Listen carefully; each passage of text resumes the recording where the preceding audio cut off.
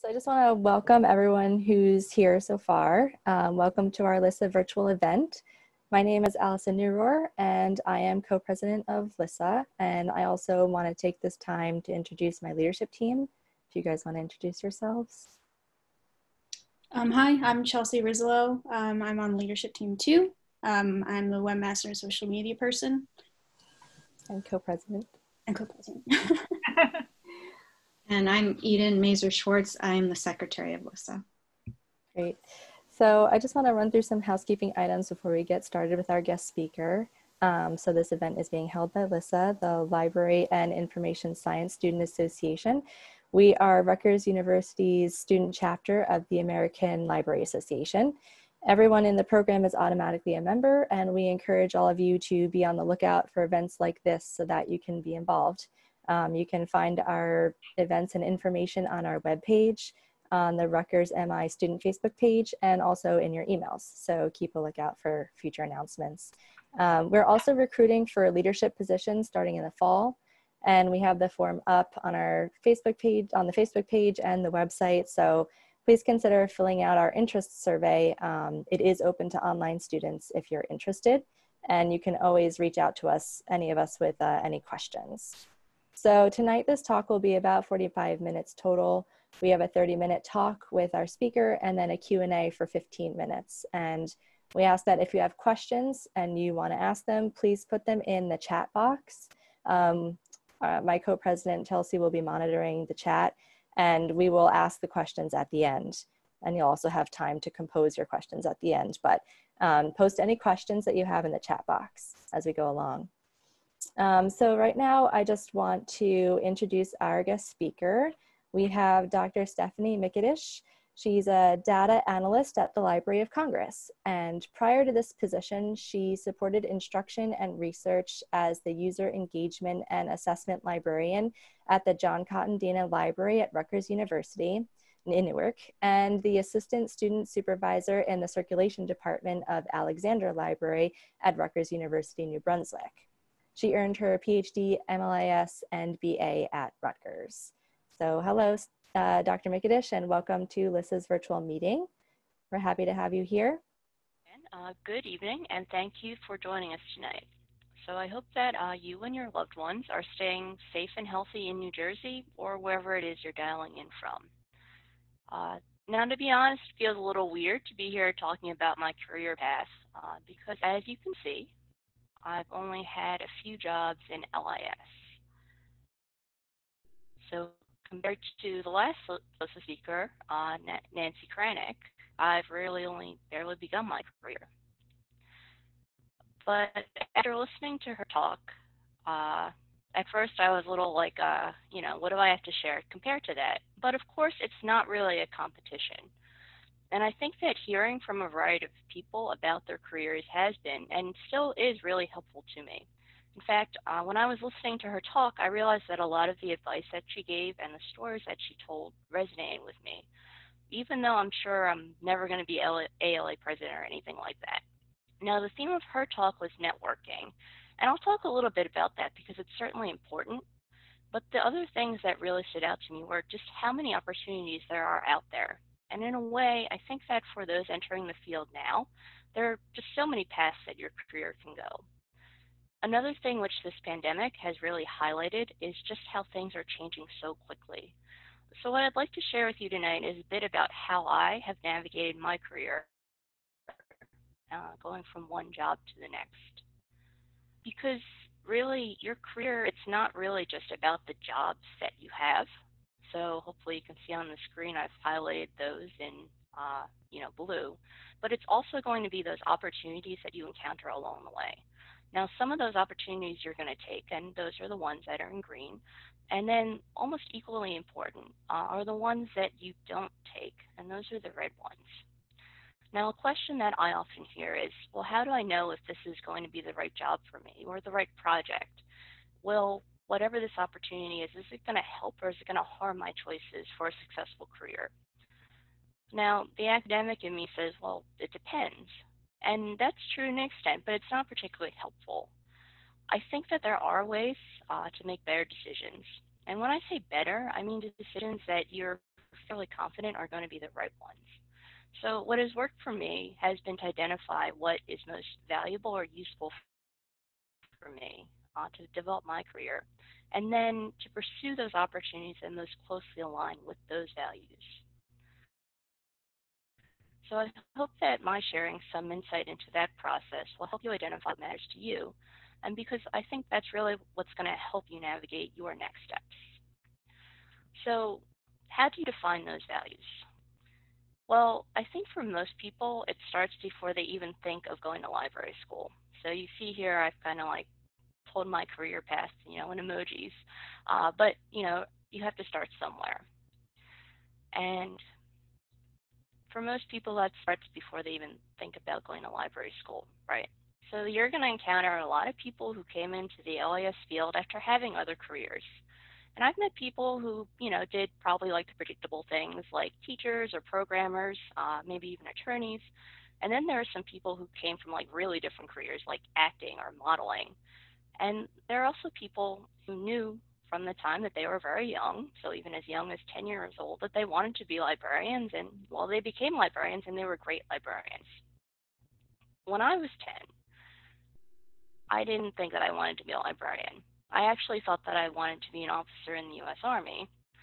The way I figured when I was 10, I would get to help people, I get to travel, I get a free education, and I was pretty much going to be guaranteed a job after getting that free education. And for 10 year old Steph in the late 90s, this was pretty much the dream.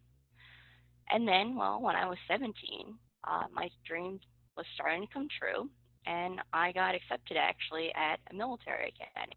So there I am on the one on the left. And there's a lot of things you can say about the military. But one thing that is absolutely true is that there is a right way, and of course, several wrong ways, to do almost everything. And that includes how to be a good soldier and an officer. So, to be a good soldier, uh, there are two, well, really three things you had to do. You had to be able to shoot, move, and communicate. In order to be a good officer, you had to really care for your subordinates. And even though after a couple of years I decided that the military was just not for me, this idea that you had to be good at these tasks and also care for the people around you stuck with me. Of course, being an excellent marksman isn't necessarily going to get you that LIS job, uh, so I had to translate those values a bit. And what they became was being good at whatever skills were necessary uh, to be successful at the job, but then also to have a flexibility um, or a mobility to be able to expand into other areas it was also important to communicate or network uh, with those in that area and the related ones. And for me, the most important thing, uh, and what I judged really every opportunity by, was that I would be able to find and help create a supportive environment. So that's kind of where I started from uh, before I even began the LIS career. But, you know, as you know, being students, to start in the LIS career, you got to get your master's so I realized, okay, I'm going to go get my master's. And I looked at a few schools, but, you know, already going to Rutgers and then already being in New Jersey, it kind of narrowed the choices down uh, quite a bit.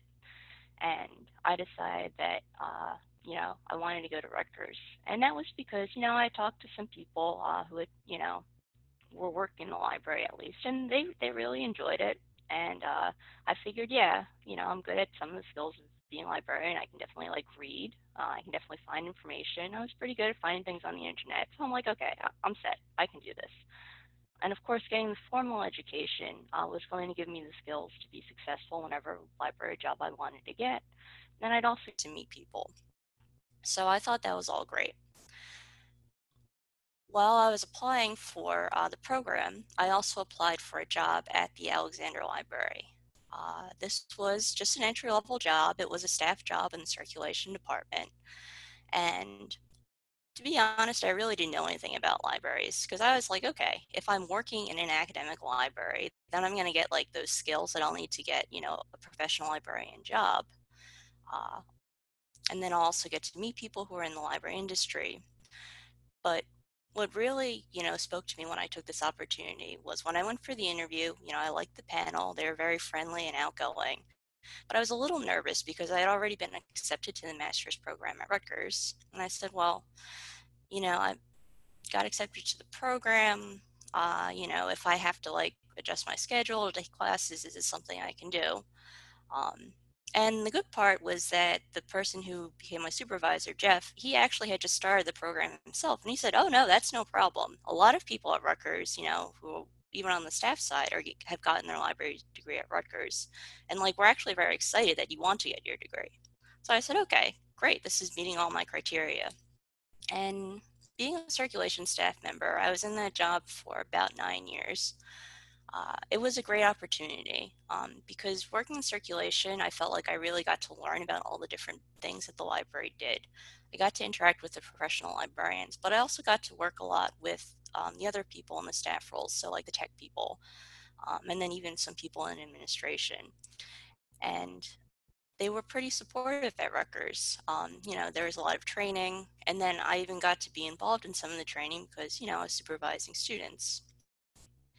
So overall, it was a positive experience. And yes, they did pay for the education uh, for the masters, and they also allowed me to, you know, adjust my schedule. The other good thing, which I didn't realize, is that working at a big place like Rutgers were all the opportunities that were there. Um, and pretty much as long as I was doing my job, if they, if I wanted to join a committee, uh, like the marketing committee, they were all for that. So I got to volunteer for a lot of things. I also was voluntold to do a lot of things as well. Uh, but, you know, a lot of people also voluntold. And I think just being at Rutgers, um, just being in New Jersey, people, you know, were just like, well, sometimes you gotta do these things, but we're gonna make the best of it.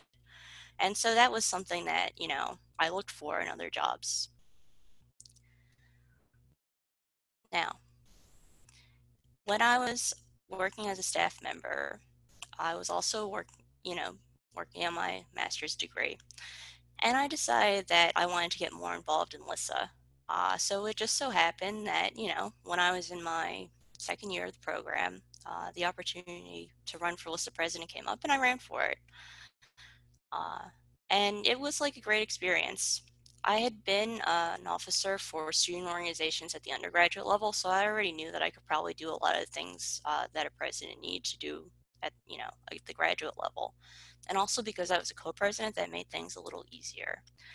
Uh, it also allowed me to develop some skills um, because you know before i had been more like a vice president or more like a secretary i hadn't been a president but only for a semester so it really helped me to kind of hone those leadership and just you know skills to get things done to get events organized uh, and that included a trip to the library of congress um, which i heard you know you still do so hopefully, you know, when the pandemic lifts, we'll get an opportunity and maybe I'll get to see some of you in person. Of course, it was also great for networking. And the team that I had was just, you know, so supportive. And I still talk to some of them today. When I graduated, um, I had like a choice to make. You know, did I want to become a librarian or did I want to, you know, pursue other paths? I kind of decided that I was interested in being an academic librarian. Uh, and what that meant was because even though I had my master's degree, if I wanted to be an academic librarian at some place like Rutgers, I was going to need to get a second degree. So I already figured I could probably do, you know, the stuff that was required to be a librarian.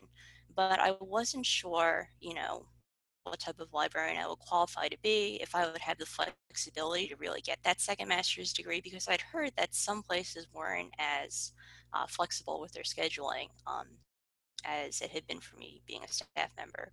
And then also, if I was going for tenure, uh, you know, then I'd have to be publishing and working, and then also working on a second master's. It really seemed like a lot. So I wasn't sure about the flexibility, and I wasn't sure if they would support, you know, me taking that next step. And none of the jobs that I was really seeing out there seemed like they'd be a good fit. So the good thing about being at Rutgers is that in addition to the master's program, we also have a stellar PhD program. And when I was a master's student, one of the classes that was in one way one of the most difficult and like the scariest class was one that uh, it was kind of a joint venture with people in the master's program in LIS, but also people that were in the business school, in the computer uh, science department, and also PhD students from the the SC&I PhD program. So talking to them and being in class is pretty intimidating because, you know, they were PhD students, but they were actually a really friendly bunch. And, you know, talking to them about the program, uh, and I already liked the department. Uh, Marie Radford was actually my advisor when I was a master's student. She said she would definitely, you know, advise me if I was a PhD student. So already I felt like it was going to be a supportive environment. I knew I had done well at the master's level and that I'd probably be able to do, you know, the coursework at least for the PhD. And it would also give me the skills uh, if I wanted to pursue a career in librarianship, but also if I wanted to move into something like teaching. And then part of being a PhD student is to do your own research and to kind of put yourself out there um, at conferences, um, writing journal articles. So I figured it would also help me network no matter where my career path took me. So really, it was sort of a no-brainer uh, going into the PhD program. Now, in addition to being in the PhD program, uh, there were also opportunities. We also had a student group. Um, it's called the Doctoral Student Association, or the DSA. And when I was in my second year in the program, um, some of my other friends were running for, you know, the e-board, and they were like, "Hey, do you want to, you know, be on the board?" And I said, "Well, I've already been like a president, like a secretary, uh, and a treasurer." And they're like, "Okay, that's great. We really need a treasurer." So I was like, "Okay, I'll help you deal with like, you know, the Rutgers budgeting system. I, I can help with that." Uh, but some of the other things that I was able to do while the DSA treasurer uh, included things like helping to uh, budget for a conference. So that was an exciting thing to do, an exciting way to kind of grow my skills uh, because we were able to, you know, get the money in from the people attending the conference. We were also bringing in speakers from other countries uh, and just kind of working through all that paperwork and figuring out like all the work that went into planning a conference was really helpful. And of course, I got to learn more about the different students um, and also the ones that were graduating. And so listening to them and also, you know, getting advice and even like mentorship from them was helpful. Uh, so it was a good time.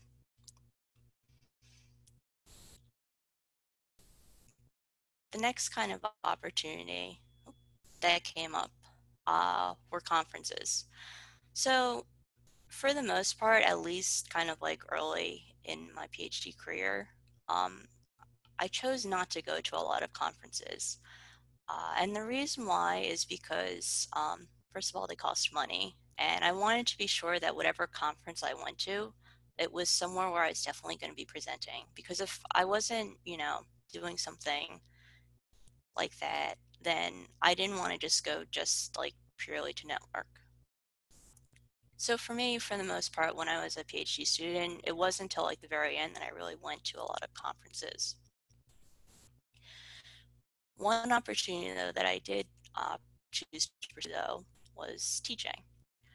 And the way I ended up teaching was because when I was LISSA president, uh, the advisor for LISSA at that time was Dr. Kay Cassell, and she enjoyed working with me. You know, when I was president, she was faculty. You know, I tried to make sure she knew what was going on and like took her advice on things. So when she needed teaching assistant or TA, she asked me if I was interested, and this was actually for the reference course.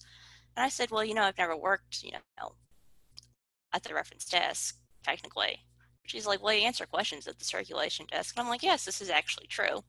And it's also true that sometimes when I was working, like on a Sunday, there was no reference librarian on duty for at least the first few hours. Uh, so I actually, you know, knew a little bit about answering questions.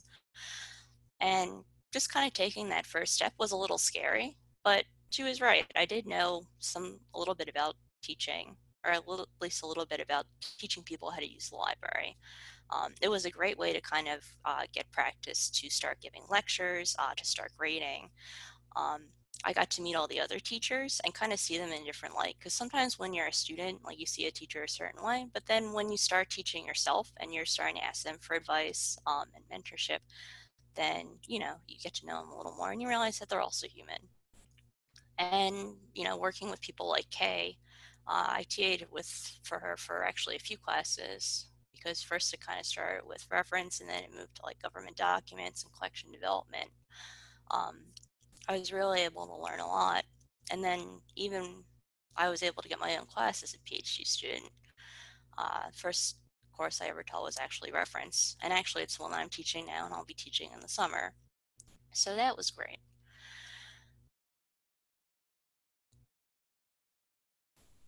Another opportunity that came my way that I chose to pursue uh, happened with regard to research. Um, my area of study was academic library value because I felt that it was something that was flexible enough that if I wanted to work as uh, an academic librarian or as a researcher, there is going to be plenty of work. I think that librarianship and education, they're very closely related uh, because the point of you know the LS profession is to kind of help create you know an informed population or informed community. The purpose of education is to create an educated community, and being educated and informed are actually you know very similar.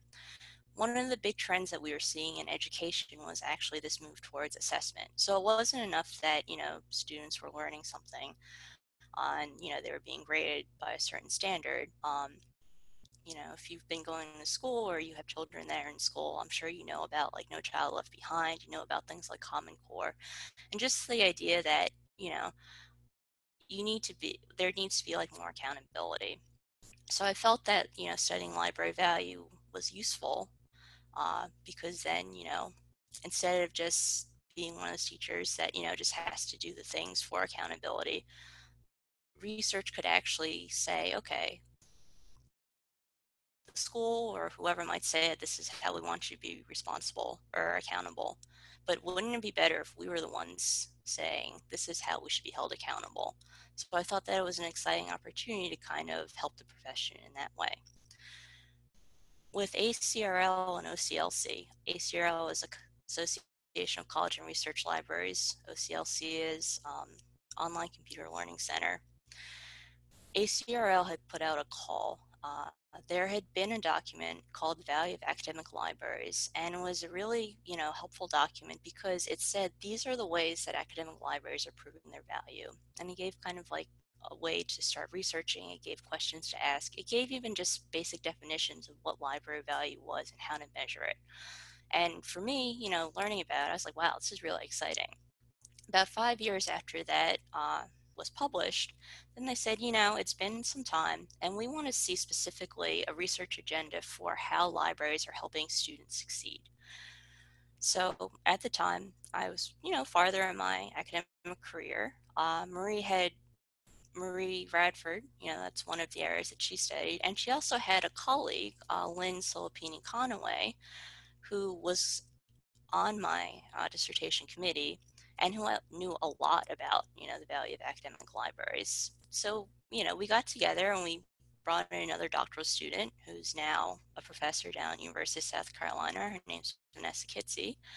And we were like, well, we think that we have a good idea for this project. Uh, but what we did, proposed was super ambitious. First of all, we wanted to interview uh, people both in higher education and also librarians. So there's that component we also said, you know, let's go even farther uh, because we want something that's going to be super helpful. We want people not just to like read kind of like the book and see what research there is, but we want them to be able to interact with the data and to be able to tell their own story.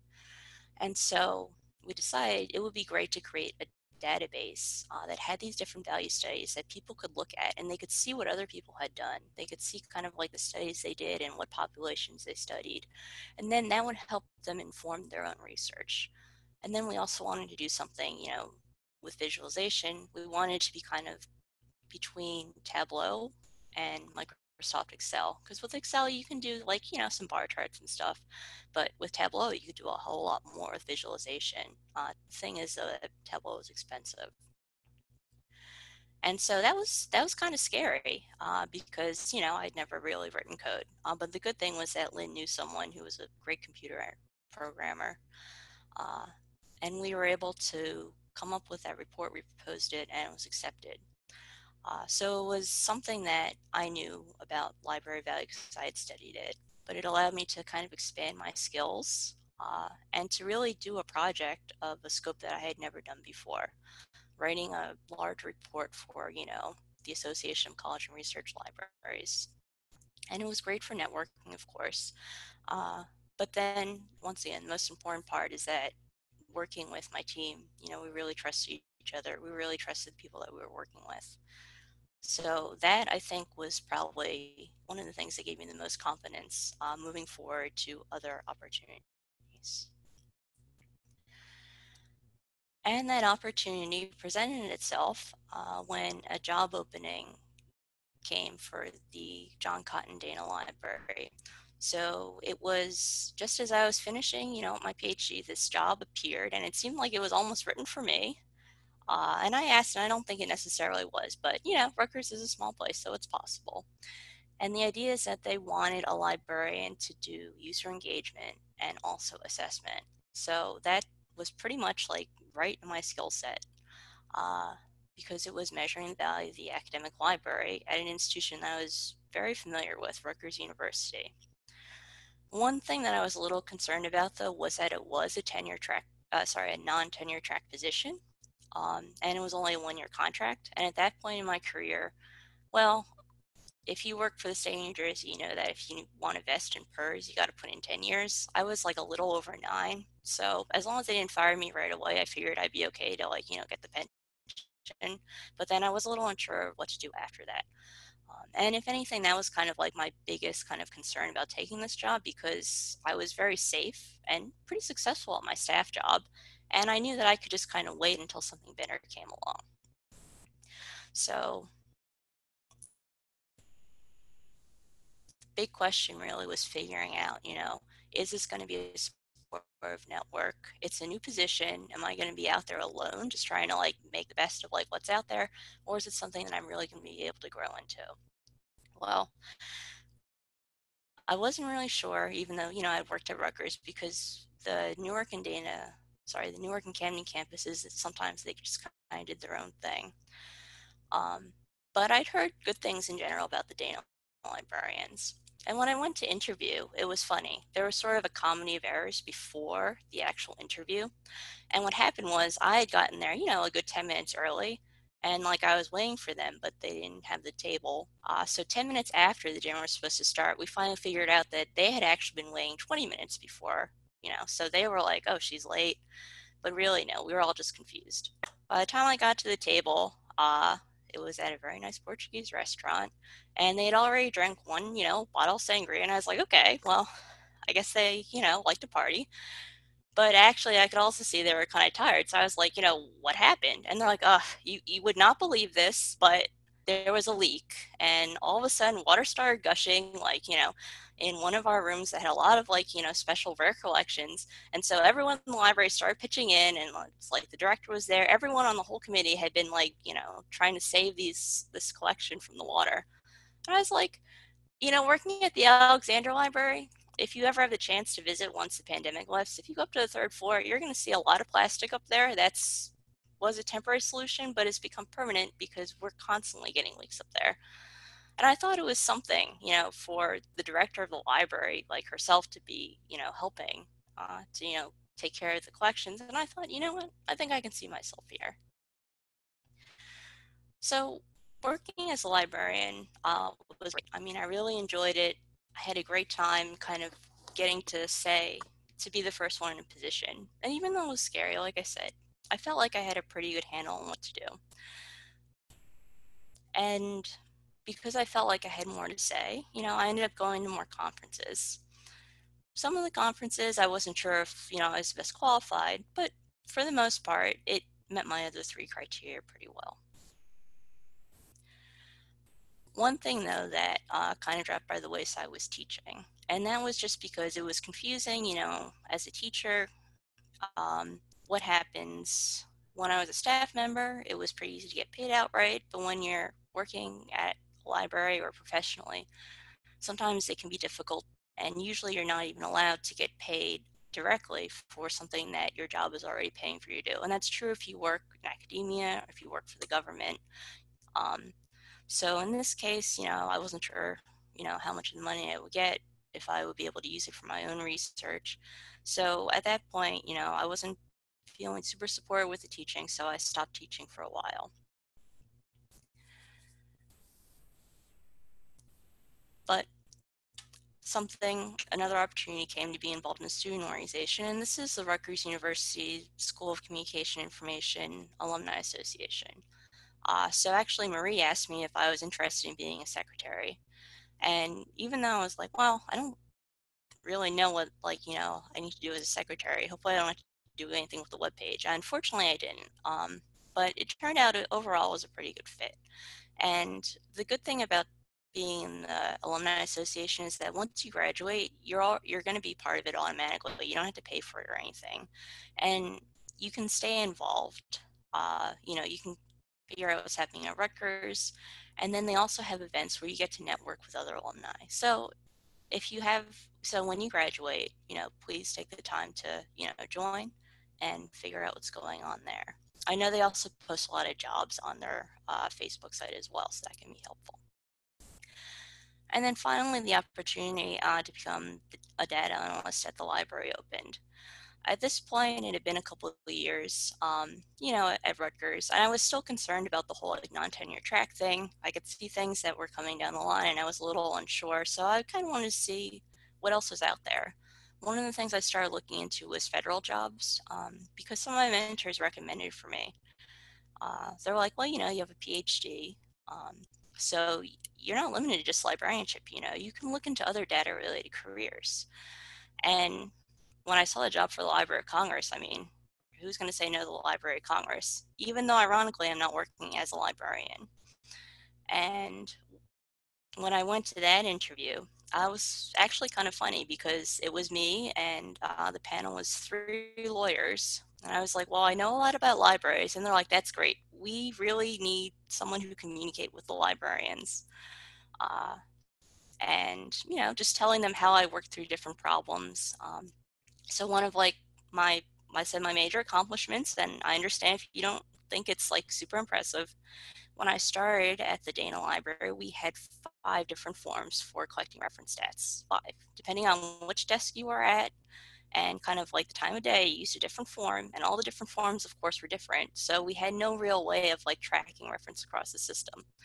And it took a year for me to, you know, talk to librarians and convince them and to like go to different parties and say, oh, you know, I think we can combine the forms. I think it should look like this. But, you know, after a year of working with them, we actually ended up with one. And they're like, no, that's actually really impressive um, because there are some things we've been trying to do at the library and we haven't been able to get anything done. So I was like, okay, I think that seems like a good fit. And that's how I ended up at the Library of Congress. So to end, I just want to give a few takeaways. Um, I guess like kind of the summary of uh, this presentation. I told you a little about, you know, my path and how I kind of like the opportunities that came. Your path is going to be different. Uh, you're not going to have the same opportunities, and in some ways that can be good. I hope that you have much better ones, actually. I think that you need to figure out how you're going to navigate those different opportunities. Um, because when you figure out kind of what your values are, what you're looking for a job, or how you want to grow, that will allow you to prioritize what skills you actually want to develop. Um, in general, to be successful at any job, you know, you have to do excellent work. You have to do that work on time. And it's helpful to make it easier for people to like you. The good news is that those three things, you probably only have to do two really well. And then, you know, you'll be successful in almost any job, especially I think working in the library profession. Once you know like what skills you want to develop, then that'll help you know when something is worth the risk and when it's just something that you're going to want to pass on. Another just piece of general advice I want to give is that you have to remember that whatever you did, the skills that you gained that got you to where you are now, that might not get you to the next level. So be great at what you're doing, but also, you know, figure out where you want to expand, what opportunities you want to take that are going to grow your skill set. Uh, so that you can hop to like the next part of your career path. And last but not least, you know, ask questions. The good thing about being a librarian is that people are usually just so willing to like give you advice um, or to give you information. And that translates to, you know, to looking for jobs. So that's all I have for now. I'm going to stop sharing my screen and then uh, I'm happy to take your questions. Great, Steph. Thank you so much. That was wonderful. Um, we do have some questions in the chat, so I'd like to just read them out. Um, so from Marie Radford, um, Steph, can you talk more about the transition from staff position at Alexander Library to um, being a librarian at Dana? What was it like to make this transition? So in some ways it was pretty easy. Uh, in ways it was kind of difficult. Uh, kind of the blessing and the curse of, you know, being a staff member, kind of being in like, you know, a lower position and then moving to a higher one is that there are some people that are always going to see you as like being in that lower position. I mean, even though I was like, you know, I was a non-tenure track librarian, but I'm still a librarian. There were some times when like, you know, tenure librarians were ready to like kick me out of rooms that I had booked. And I had to be like, no, I booked this room. I need it for a legitimate class. Please go somewhere else. and even though they apologized after, it's just thinking like that, where it's like, no, I'm I'm a librarian too. Uh, I'm grown up. The good part about, you know, uh, being a staff member is that I had already kind of like, I knew a lot of the people or I knew like the right people to ask. Um, so being an assessment librarian, the first thing I kind of did was just talk to everybody because I was like, look, I know that you take stats. I know you have information because I knew that I was, when I was a staff member, I also took stats. And then I had information I'm sure none of the librarians knew about. So that's what I want to hear about. And so it was true. There were things that, you know, they were willing to share with me. And I think that um, it was helpful because I was able to kind of see things from both perspectives. So in that sense, that kind of made it easy. Um, but yeah, the hardest thing was just getting to say, yes, I'm like an, an adult, adult now. I was an adult before, but now I'm like really an adult and I have a PhD. What else do I need to do for you people? yeah. Um, also, the fact that I went from a library assistant um, to a librarian was unusual. Uh, not to brag, but at libraries at least, there's only been definitely one supervisor, who, staff supervisor, who became a librarian. And I think that there was someone in technical services uh, who also made the switch from staff to faculty. But other than that, um, it was just kind of me. So it's not super. I would not recommend, you know, being a staff member trying to get a faculty position. It's difficult. You're probably gonna have to go somewhere else. But even, you know, getting a library job because there's so much competition in the New Jersey, New York area, you might have to go somewhere else anyway. Hopefully that answers your question, Marie. That's good. That's good. Uh, good information. Um, so you mentioned your concerns about taking the job at Alexander since you hadn't had previous library experience. Do you have any, any advice for students looking for their first library jobs? So for me, actually not knowing anything was helpful uh, because if I had probably known more and realized that my staff experience might not necessarily translate to my library uh, professional, you know, library experience, I might have decided instead of taking a job to try to do more things to kind of do actual like librarian work, you know, that would have like counted. Uh, but for me, getting the job at Rutgers, especially because I knew that they were going to pay for my tuition, uh, made it a lot easier. Mm. So with your first library job, I think the good thing is that uh, you won't really know what to expect. Um, so that's why I recommend definitely looking for that uh, supportive environment. Uh, and actually, kind of one of the things about this whole pandemic, um, whenever I went on an interview in order to find out if this was going to be like a supportive environment, when they asked, Do you have any questions? One of the questions I always ask, Well, what do you like most about the job? And most of the time they said the people, and that, that's great. Sometimes when they say the people, they'll say it's the people in spite of blah, blah, blah. And you really want to pay attention to the blah, blah, blah, because that's like the thing that they don't really want to tell the person interviewing, but that's probably, you know, the main concern with the organization. Having been through this pandemic, we know that there's a whole range of responses that libraries have given. I mean, some places closed immediately, some like a lot of precautions to make sure their staff didn't get infected. Some people some organizations made sure that uh, people weren't furloughed or laid off, and not just the professional staff, but also the paraprofessional staff. So I think that if you're on the job market and you're getting kind of like a good vibe about this and you really want to figure out like what this organization values and how decisions are made uh, in these times of uncertainty, I think you should definitely ask, you know, what was your library's response to the pandemic? How were decisions made?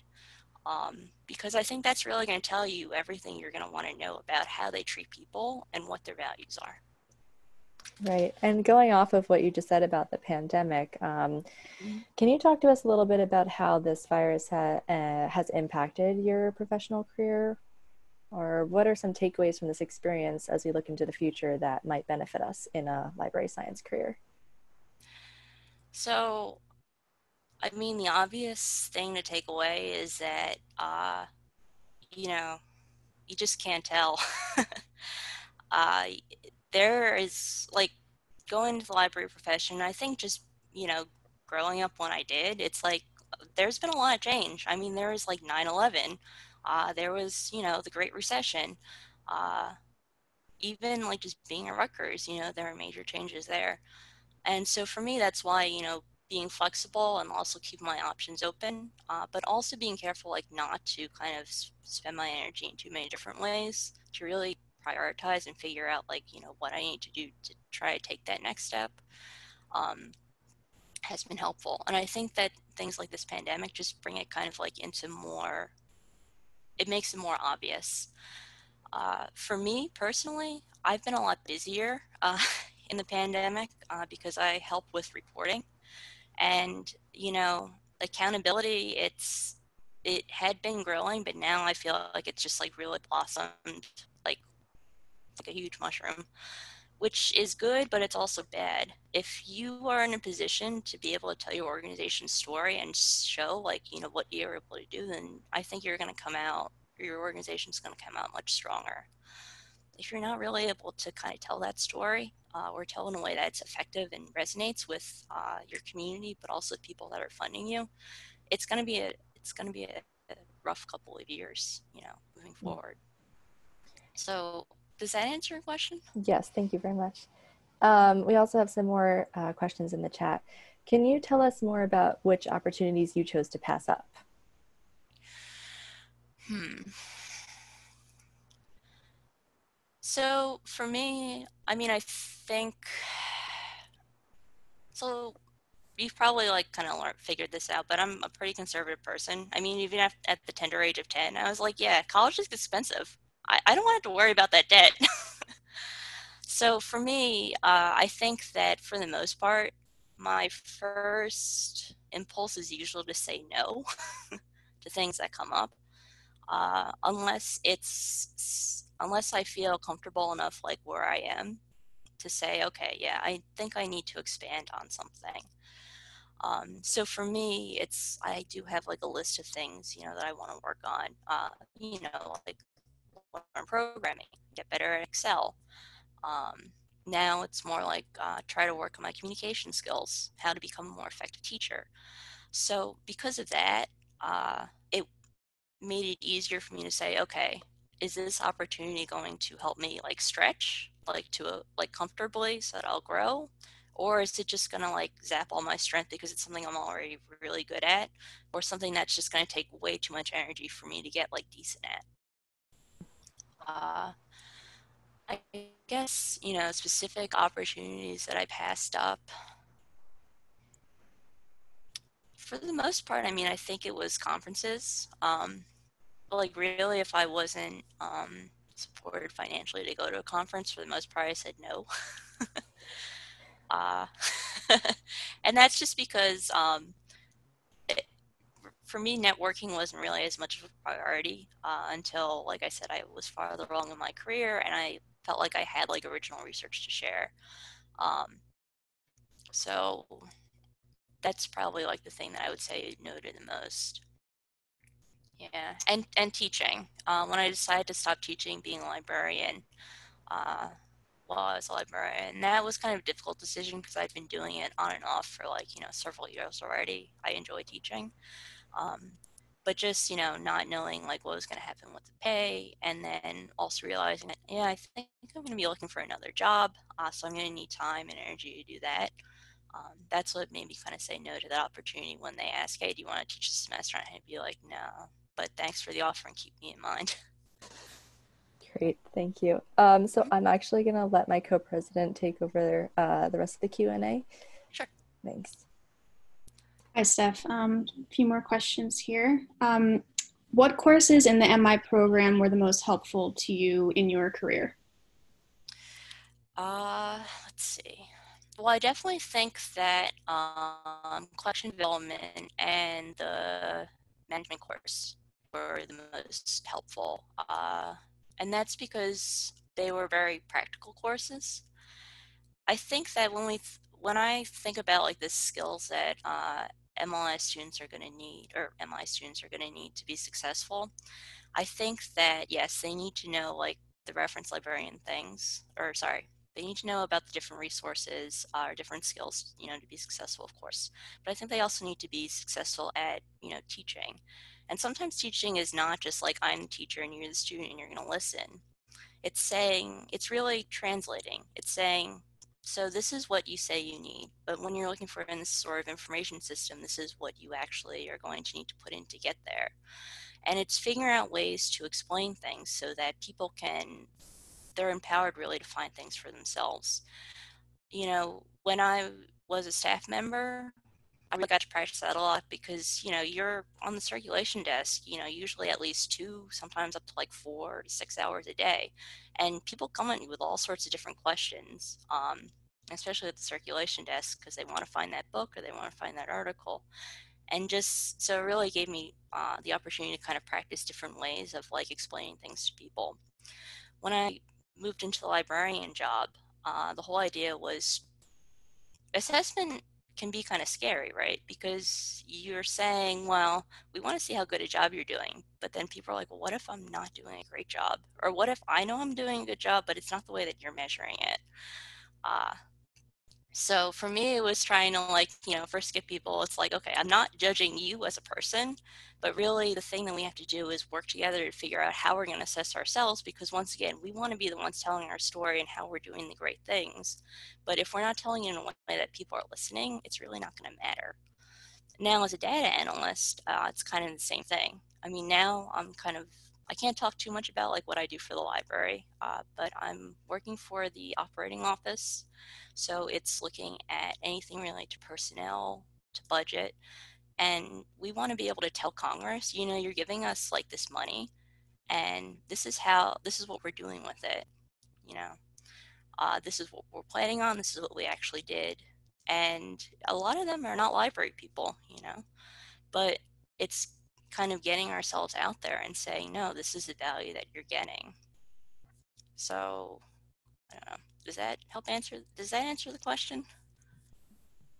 Yeah, that it does, and it, you actually touched on the next question too. Um, so I'm just going to move along it for the sake of time. We want to be mindful of that. Um, mm-hmm. In the field of academic librarianship, um, you mentioned that sometimes a second master's degree is required.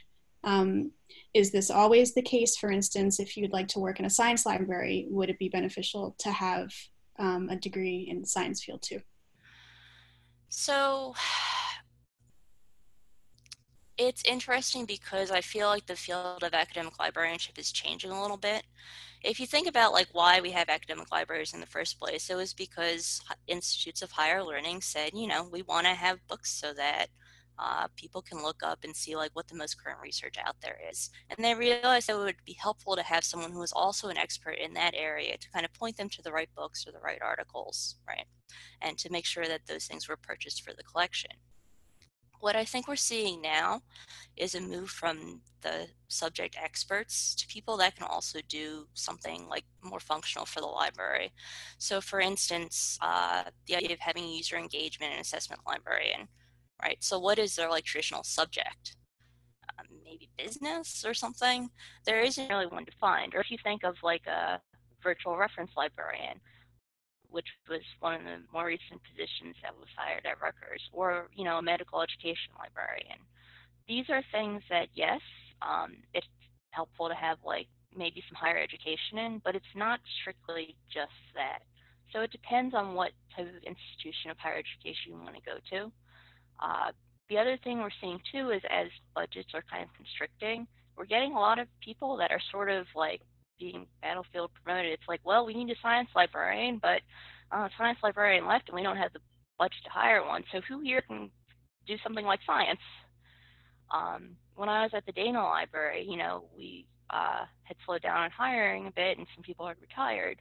So I ended up even being like the nursing librarian. I was like, what did I know about nursing? Nothing. uh, but I was able to learn, and that's the important thing. So yeah, I would say definitely like you know look at the positions. I mean, it's never too early to start looking at what people are starting to want, um, you know, when they're hiring, and then try to take courses geared to that. But also get, you know, experience where you can, where you can say, um, this is popular in government uh, interviews actually. They want you to be able to explain like a situation. They want you to be able to say what you did and then what the outcome was if you can do things like that, so for different projects, I think in some ways that might the degree might get you into the interview or into the door, but being able to tell what you did and make it like, you know, understandable and resonate, that's where they're going to say, oh, this is the type of people we want. Because a degree, it's like, it shows you've gotten so far, but then, you know, you also want to show that you can go beyond that. And then if you want to work in some place like a community college, you don't necessarily need, you know, a secondary master's, and even some like four-year uh, liberal arts universities. So keep that in mind as well. Thank you. That was a very helpful answer. Um, looks like we have one more question for tonight. Um, is mm-hmm. there a significant overlap between LIS and data science? Do employers consider those to be different fields?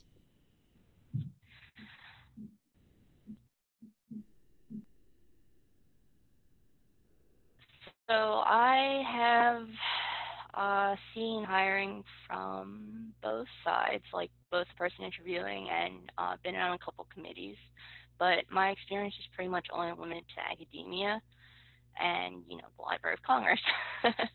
so they know what the difference is. uh, but, it, you know, once again, it depends. And it's going to depend on, I think, kind of the coursework you do. Uh, so for instance, if you do like a research project um, where you do things that are, you know, in a library, but the project can kind of parlay itself out to more of like a data science uh, perspective, then I think that would work. Um, I said this before, I'll say it again. Your degree might get you the interview, but then being able to talk about your actual experience is gonna what's gonna get you the job. Uh, I think that most, I think employers would consider both. Um, I don't think that a lot of them, like even in the government, really know what the difference is. Like there's like a defined category for like the librarian job, but usually only people that know they're looking for librarians are going to hire in that category. With analysts though, or data scientists, um, it's a lot.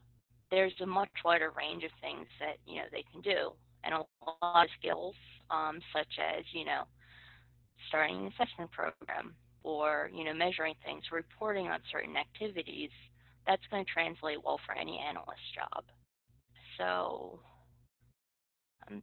actually reading the rest. Would it be difficult to market myself as a data scientist? A data scientist will have a very specific skill set, which would include working with large sets of data and statistics. So if you don't have that experience and you're applying for a specific data, like it, the job says like data scientist, then they're going to know that there's a difference. But it should also be obvious reading the job description, like what sorts of uh, experience or skills you're expected to have. Um, I think that with data science, um, yeah, if you don't know things like, you know, like Python or R, uh, or visualization programs like Tableau, um, then you might get the interview, but I don't think it's going to get you the job. Great, thank you. Um, if you have any parting words, or if anyone would like to ask any last questions, Otherwise, thank you so much for joining us tonight. Um, and thank you to everyone who tuned in. Um, if there's anything you wanted to go back and visit with this presentation, we are recording it, so it'll be up on our website tomorrow. Um, and just a reminder to everybody that we are also recruiting leadership members for um, the next academic year. So I'm going to go ahead and drop the link to the Google form in the chat if you'd like to check that out, or you can find it on the website too. Um, so Steph, thank you so much for such a great presentation and chatting with us. Really appreciate it. Yeah, no, it's really an honor. Um, thank you for coming out, and you know, best of luck. If you you know have questions, please feel free to email me. Uh, if you're interested in taking reference or collection development and management, I'll be teaching those online during the summer. Uh, so you know, if if it's open, be sure to sign up. have a nice night. You too. Thank you so much. Everybody.